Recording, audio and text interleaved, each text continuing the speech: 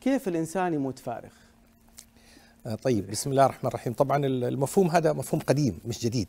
صحيح. بس الناس تفاجئوا فيه لأنه استخدمت فيه كلمات جديدة. مت فارغا أول مرة يسمعوها. أي. آه، طبعا دائما إحنا نقول إنه الإنسان لابد إنه هو آه، مشاريعه في الحياة أفكاره في الحياة يحاول يطلعها بأي شكل قبل ما يذهب إلى المقبرة. إذا ذهبت إلى المقبرة ماتت معاه.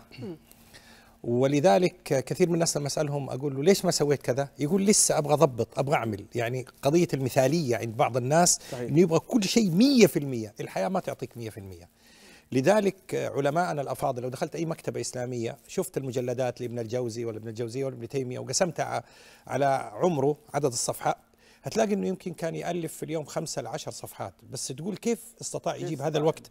لأنه طلع كل اللي عنده طلع. وبعضهم يقول لا زال. لكن اليوم في العصر الحديث لما ضعفت الهمم في العصر اللي إحنا عايشين فيه اليوم أصبح الناس يخافوا.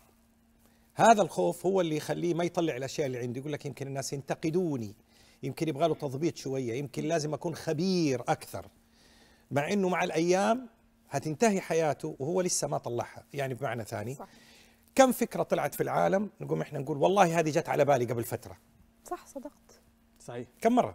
كثيرا.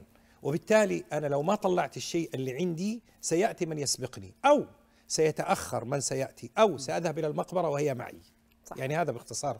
مفهوم